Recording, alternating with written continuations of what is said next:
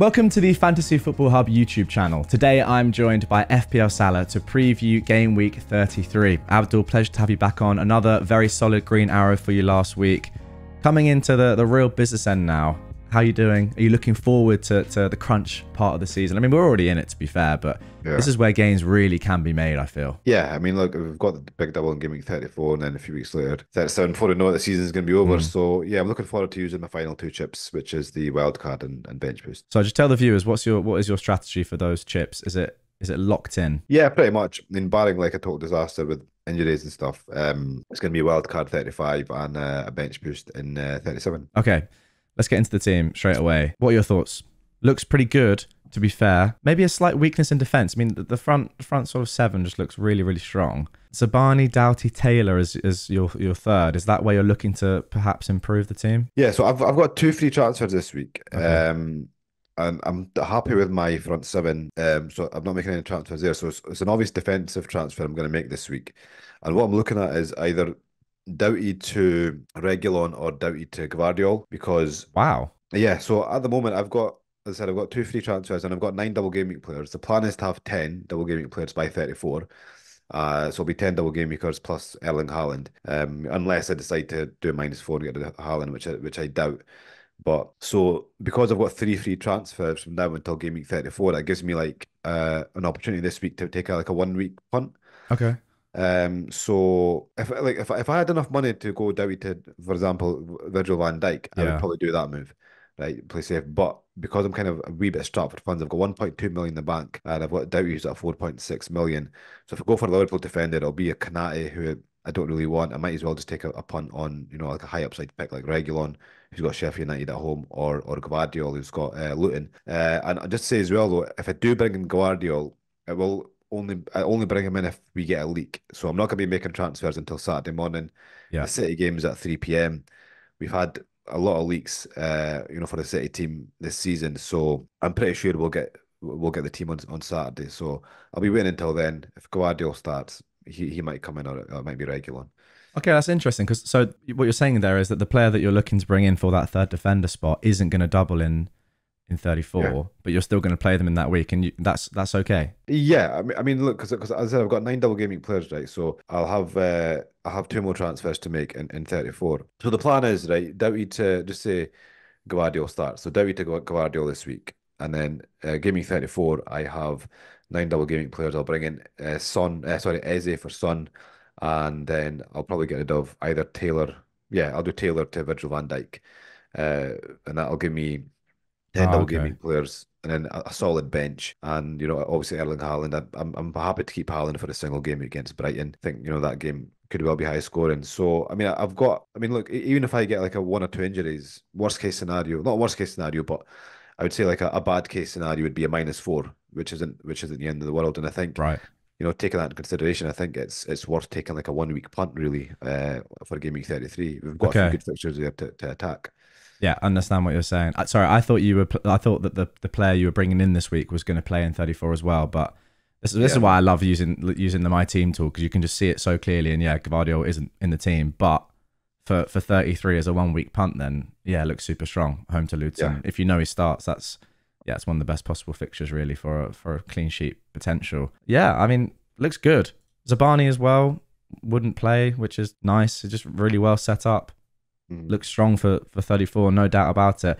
What do you think about free hit 34? Just on a more general sort of strategy question because I feel like people who are free hitting in 34 maybe like are looking at a team like yours and thinking, well, where's my upside here? Because you're not free hitting, but you're you've got. I mean, so many of the players that you'd probably have on on free hit 34. We'll get into it obviously next week, but just for people this week who are who, are, who yeah. have that chip in locked in for the week, like how different do you really go? I mean, the thing is with that is you can go for like I guess a, a double Arsenal attack with with Havertz. I mean, uh, instead of double defense, you can go Saka and Havertz. You know, you can possibly even go for, I guess, you know, instead of Haaland, you go for you know three forwards. Like you know, you probably yeah. go for you know all you know eleven double gaming players. You can probably you probably be looking at something like a Darwin, a Solanke, and a Mateta up front. So th- there are a few like um, you know ways in which um, you know they, they can diverge and you know there's there's I'd say maybe one or two players kind of in each position uh, you know in, in, which they can go for they can you know they, they said they can get the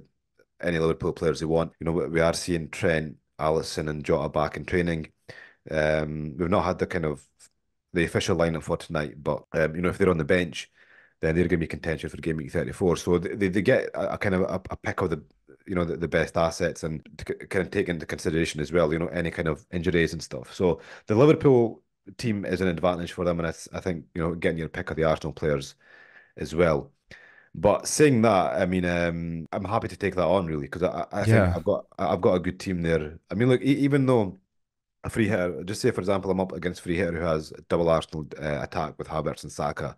They've got Virgil van Dijk. You know, they've got other players that they kind of want. It, it doesn't guarantee that it's going to outscore this team because I've still got 10 double gaming players. I've got Haaland.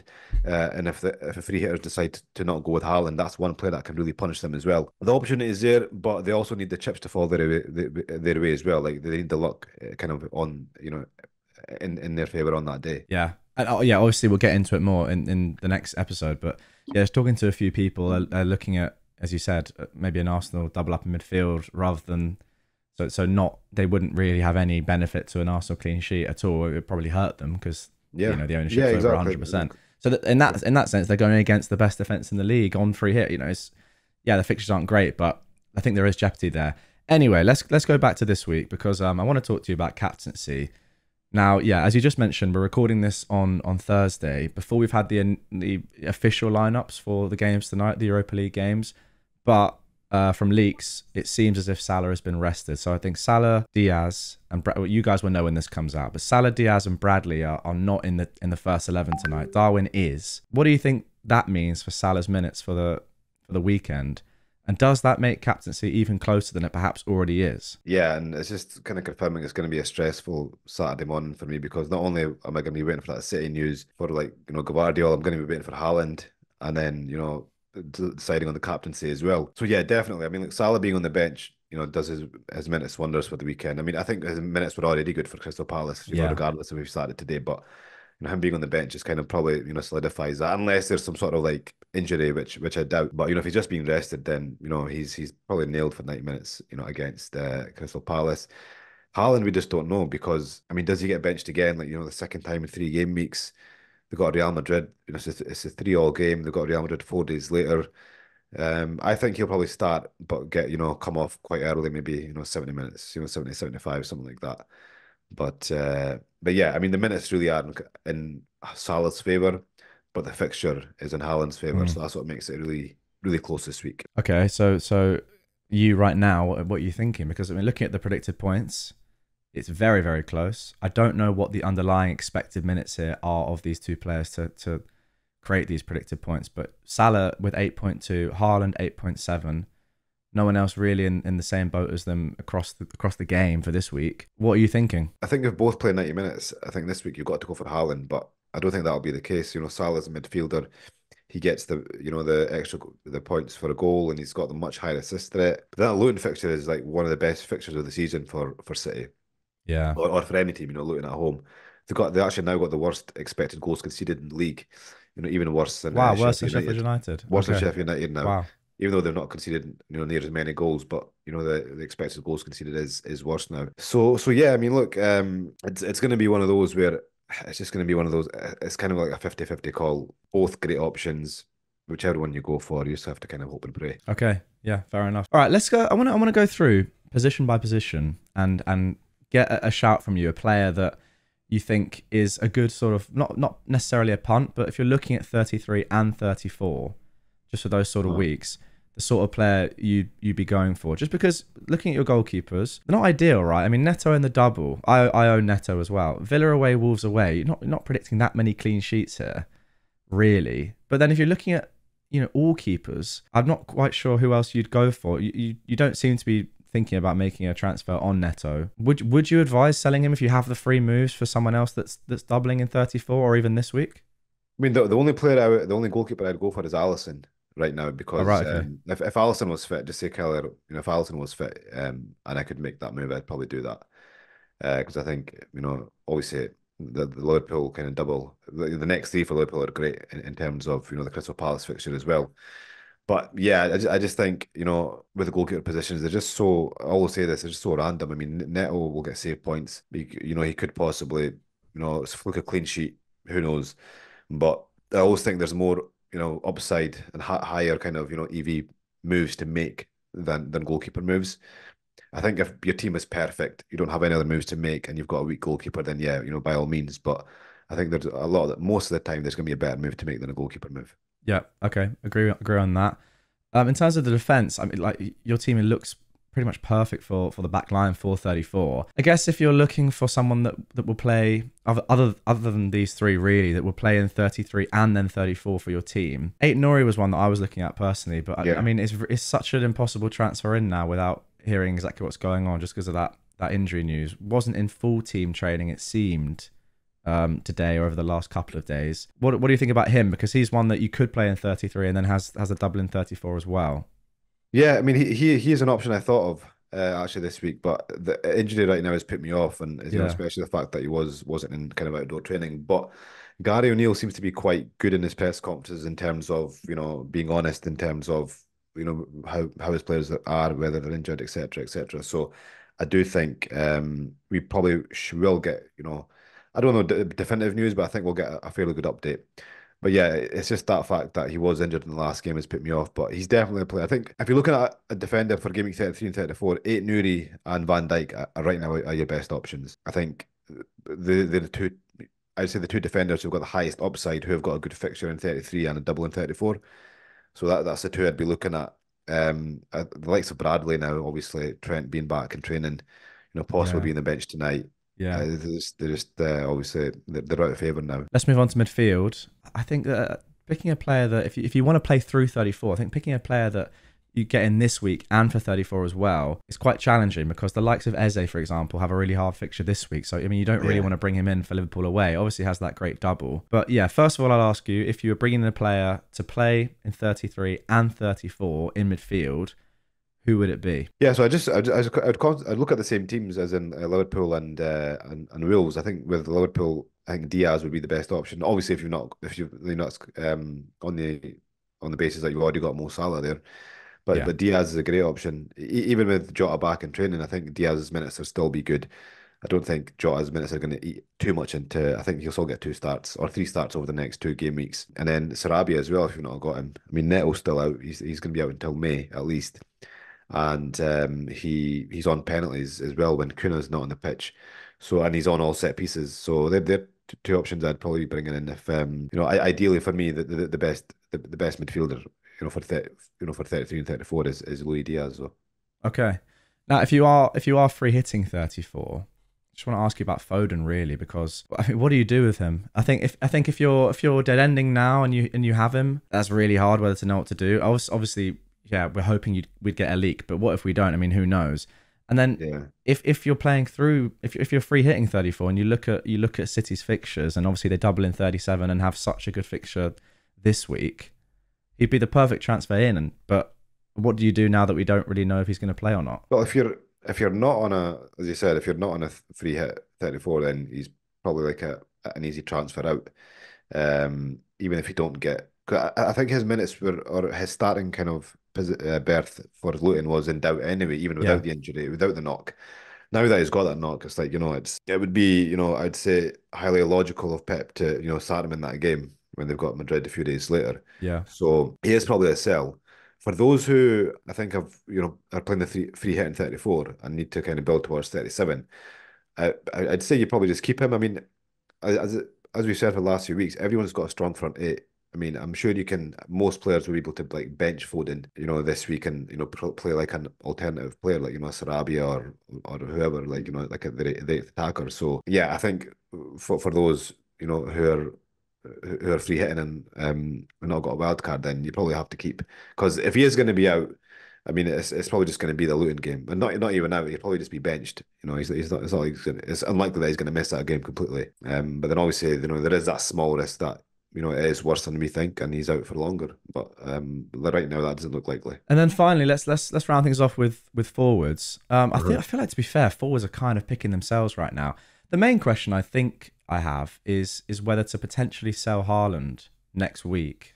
Again, this is probably more of a question for next week because the player that you know he's got a good fixture this week that you you know is a very good captaincy option. Yeah. But it's just if you have that in mind, perhaps with your, your transfers this week and next week, if you if you are dead ending 34, would you potentially sell him for a doubler for free? I don't fancy it because look, we've got look at the teams. We've got Wolves, right? So we've got Cunha, who's who's all right, but he's just come back from injury. I think he's been on the bench the last few games. His minutes aren't great. Sheffield United, no, I mean their best option is probably Brereton Diaz. You're not Yeah. going to take him out for Haaland, and then Liverpool. I think everyone's going to have uh, Darwin, you know, and Haaland. Um, I, I guess if you don't, then you could probably go for you know Haaland to Darwin if you don't if you don't have Darwin already. And then you got Everton, Palace, and Bournemouth, and like again for Bournemouth, everyone's already got Solanke, but then who are you going to get from like Palace? You've got Mateta. But That's the one. That's the one I'm looking at. Is this, is it is it worth going from Haaland to I mean- I mean- for one week? if if you are going to go for one, then it's it's got to be I think Mateta because Arsenal you don't want to forward from there either. No. Um, Everton you don't. You know, DCL and Beto are kind of chopping and changing uh, who starts. Um, you know, this they're kind of rotating uh, um, in the front line. So it is, really Mateta uh, that you go for, and like the fixtures are good. Right, they've got West Ham home and Newcastle home, which you know. West Ham are like I think bottom three for expected goals conceded, but you know Haaland's got a good fixture. It's like Brighton Yeah. away, Brighton attack. It's more like more more likely that's going to be a high scoring game than a than a cagey affair. So I mean, um, I think if I was on a free hit, like for example, I think I would risk it because you know it's a one off. You know, you, you might as well just go for the you know go all out and, and go for the fifteen double gaming players. But for a transfer, I think it's tougher when you're looking at it as a, just a, single transfer, which you can possibly make you know elsewhere in your team. Yeah, yeah, that's fair enough. Definitely opportunity cost for, for using that transfer on Haaland. Also, I mean, I don't know what what sort of price people have paid for Haaland. Obviously, depends on when you got him in, but you'd be losing a Uh-huh. bit of value there as well. Maybe not super super important, but it depends how many, you know, what you're going to do with the team moving forward. But it's always better to have more money than than less. Yeah, So um, always. yeah, well, yeah, of course. That's probably the most obvious thing I've ever said ever, but yeah, there you go. Okay, I think that's going to do it, my friend. Anything else that we might have missed? I mean, a quick question about who you're starting this week in goal, actually, because Uh-huh. both your keepers have the same predicted points. It's a pretty niche question just for you, but there'll be some some Neto Dubravka owners out there. Dubravka as well is one that did really well last week, but again, a seemingly tough fixture. Do you just play him? Um, I think I'll go for Neto because Okay. look at the odds, right? Net, like um, uh, Bournemouth are actually favourites in that game against United. Are they really? Uh, wow. Yeah, I was quite shocked. Um, and I was quite shocked that Solanke is at 44% to score at any time as well. Wow. Uh, just on a bit of a side note. But the the clean sheet odds kind of favour Bournemouth, you know, by 3%. So Bournemouth are 20% and Newcastle, you know, 17. okay. Um, I guess I, I- don't I think it's a close. I think I think obviously probably both teams will probably score, United and, and Spurs, right? But I just Yeah. think um with this one, when it's close, I'll just go with the clean sheet odds. And you know, Neto has the same points as well, so I'll, I'll go with that. But yeah, it's it's a close one, but I, I don't think there'll be much in it. Yeah, fair enough. Okay, thank you very much, my friend. Uh, that is going to do it for this one. Good luck this game. I'm not sure if there's going to be time, it will- depending on the leaks. I don't know if there's going to be time for you to you, you to post on on the site for your, your team reveal. What do you reckon? Yeah, so I've I'll, I'll I'll update the website with my kind of proposed moves, yeah, but then uh, obviously the the final team will will- be on my Twitter uh, before the deadline. If Okay. Everybody wants to kind of uh, keep up with it. yeah. Twitter's on screen as always. Thank you, my friend. Good luck this game week, and um, good luck to all of you guys as well.